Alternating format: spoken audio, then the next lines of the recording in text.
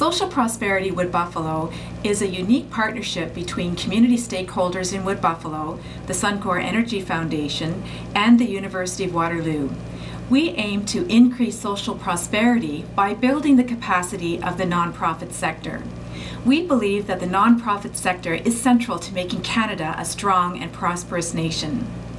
We define social prosperity as one of the pillars of a sustainable and thriving community. It includes those elements that turn a house into a home and a temporary gig into a community with deep roots. It's also about an individual's ability to reach their full potential and to access community resources that contribute to the quality of life.